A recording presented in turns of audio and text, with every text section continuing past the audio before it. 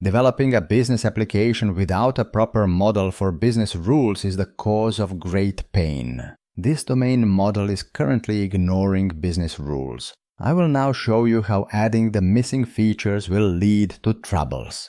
This class is modeling a book in a bookstore application. The book's title is an essential business element. There will be dozens of features that depend on the book title in this application. Each such feature will be packed with business rules. That is the topic of this video, modeling business rules. Look at this line here. A guard defends against a null or empty string. How is that sufficient for anything? I have already covered object-level validation in great depth in the previous video. That effort ended with explaining why this guard clause is not enough. It cannot distinguish between strings that only differ in the capitalization. This is a known problem in text editing and we shall tackle it in this video. Other samples are more subtle checking the grammar, protecting against garbage input, or even tackling malicious input, all that is subject to rules. There are no business rules in a string, it is a primitive type. This code requires an explicit implementation of different business rules. Title casing is an essential rule in a business that deals with titles. That would include the choice of a casing style that applies. There are many different styles in operation. Then there must be grammar rules. Can you imagine an application that works with text without a grammar engine? Or there might be the rule that a human must verify any essential information before it becomes official. An even stricter rule in some applications is a four eyes requirement. We apply that to avoid costly mistakes, such as sending a book for printing without someone senior at least glancing over it. There is no doubt there should be a whole system of specialized classes dealing with this string. I will now show you how to implement the rules design pattern. Concrete rule classes will capture all the business rules outlined in the comments. Let's implement them. The first step is to recognize the book title as a first-class domain concept. It can be as simple as a record with no behavior whatsoever. That is sufficient to start a fundamental shift. The title will no longer be just a string, but a proper object of that new type. That will affect all factory methods and constructors. Then comes the validation. How do we validate this book title now? How do we know it is acceptable? Well, this is how it works. When there is a type that models a concept, then you can assume all validation must have been executed before the object came into your hands. All these rules exist somewhere, though not in this class. Assume all the rules have been applied already and simply accept the object. The ball is in the yard of whoever instantiates the book object. The caller must ensure the tactile object satisfies all the mandatory business rules. How else would that object exist? That is where the rules design pattern begins. I will keep all the rules in a separate namespace. Rules are not models. They only apply to models. We usually define an interface common to all rules of the same kind. Each class implementing this interface would test one aspect of the validity of a book title. A rule would tell whether the book's title satisfies it. If I left it this way, it would all look like the specification design pattern. Specifications simply check objects. The rules pattern adds the ability to apply itself after establishing that the rule applies. It is up to you to tell what it means to apply the rule. In this application, the validation rule would attempt to correct the issues it discovered in the title. Let me show you how that works on a simple example. This rule checks whether the title begins or ends with a space or contains a tab or a double space. None of that is acceptable. We can easily fix any title. Don't change anything if the title is valid already. Otherwise, remove all spaces and join the string back again, correctly. Other rules won't be that simple.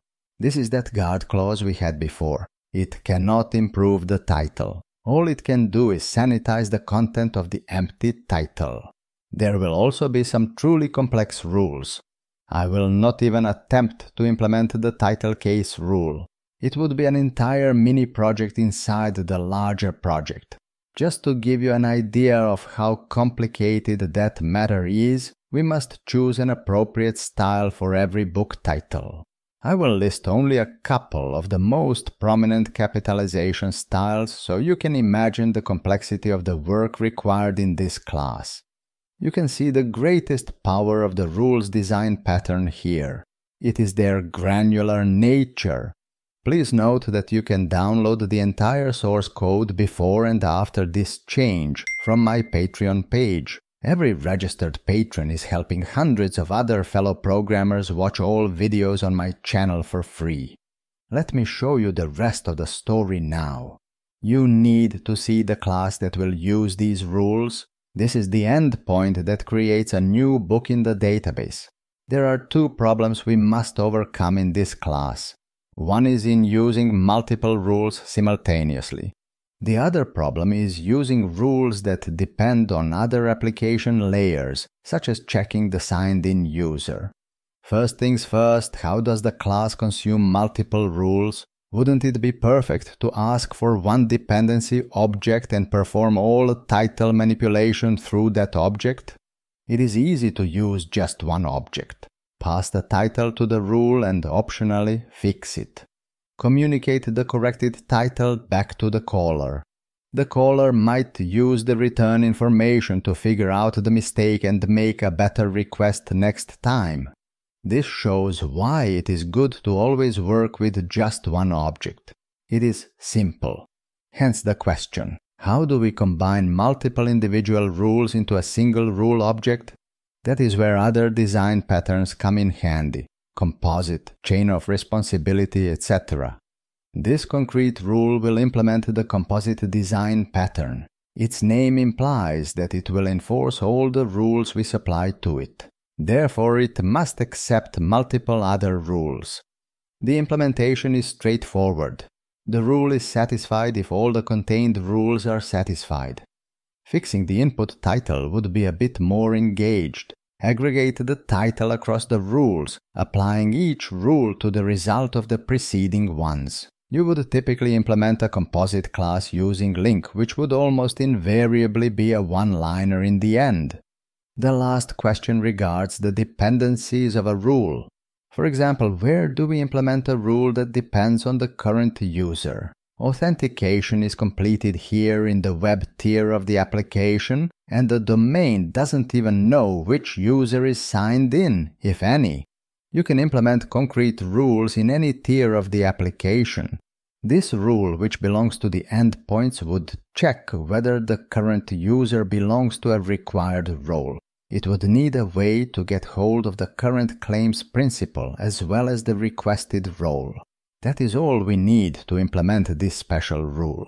Delegate the decision to the claims principal and the rule is complete. This also completes a small system of rules we can use to validate an attempt to set a title on a book. The last step is to register the rules as dependencies. Register the HTTP context accessor, prepare the func delegate that will fetch the claims principal or create an empty one. Then comes the pinnacle, registering the rules for book titles.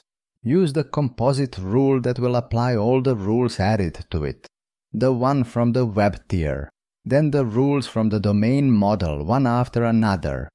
Any of these rules can reject the title, and any can suggest a correction to it, all for a very simple goal to always ask for only one object when you need it, so that you can make just one call to check your objects and just one additional call to correct them. There could be thousands of lines of code executing behind this call, but why should I care?